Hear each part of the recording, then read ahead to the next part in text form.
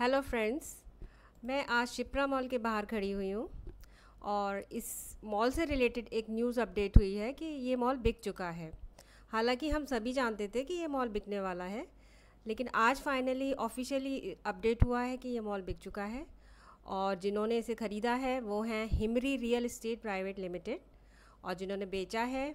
हालाँकि मॉल तो शिप्रा ग्रुप का था बट इसको मॉडगेज किया था इंडिया बुल्स रियल इस्टेट ने। तो उन्हीं ने आज सेल किया है। बाकी फर्दर अपडेट्स तो अभी नहीं है, बाकी देखते हैं इस मॉल के बाद इसमें क्या